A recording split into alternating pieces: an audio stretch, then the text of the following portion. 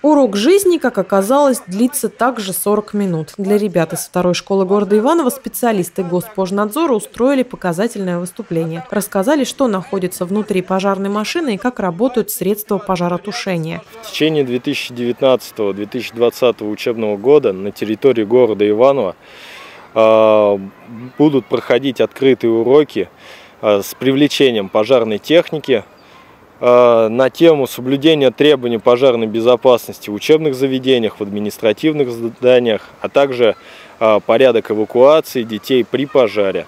Как из школ, также мы будем объяснять детям, как эвакуироваться и из э, торговых центров.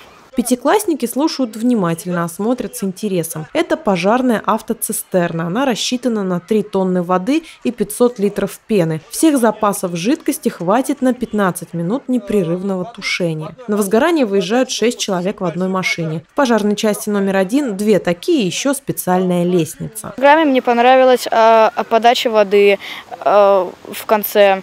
А мне, мне понравилось, во что одеты пожарные. Нам все понятно и доходчиво рассказали.